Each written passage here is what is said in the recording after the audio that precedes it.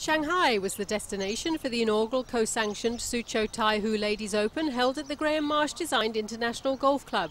Top of the bill was world number three, Annika Sorenstam. But it was China's Ye Li Ying who led by five shots from Sorenstam and Korea's Han Mi Lee going into the final day.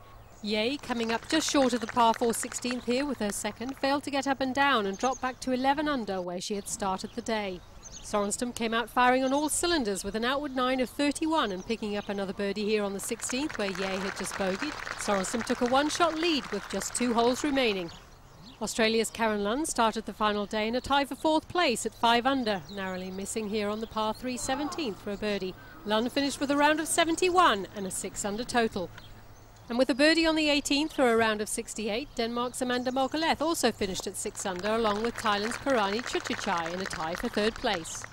Ye picked up a crucial birdie on the par 3 17th to draw level with and with a two-putt birdie 4 here on the 18th and a final round of 70 set the target at 13 under.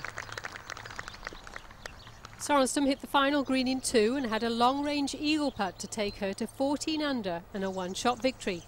But the Swede left it agonisingly short, finishing with a round of 65 and taking the event into a sudden death playoff.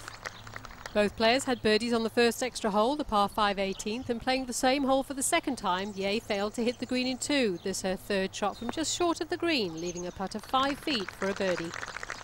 Sorenstam, finding the green in two, left her first putt well short, but hole from six feet to birdie the 18th for the third time on the final day. The pressure was now on Ye to also birdie the 18th for the third time and keep her chances alive of winning her National Open and in so doing becoming the first Chinese player to win on the Ladies European Tour. But her putt slipped by and Annika Sorenstam picked up her 89th career title, becoming the 2008 Suzhou Taihu Ladies Open champion. Confirmation of the final result, a fourth win for Annika in 2008 and pleased with her week in China. It's been great to come here. The hospitality has been fantastic. I think the fans have been great. Uh, a good tournament, uh, and uh, I had, you know, I've had a nice uh, few days here. It's been uh, really nice. The hotel is a fantastic place, and um, like I said, I'm happy to be here and walking away with some great memories.